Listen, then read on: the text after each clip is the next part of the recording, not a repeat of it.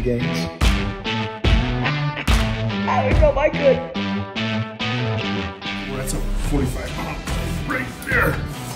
I have to say that probably some people are going to get a little workout as they're getting their drinks. So this is 10 kilos, this is 10 kilos, got my name on there. And I feel like this just became my, uh, my favorite mug to use.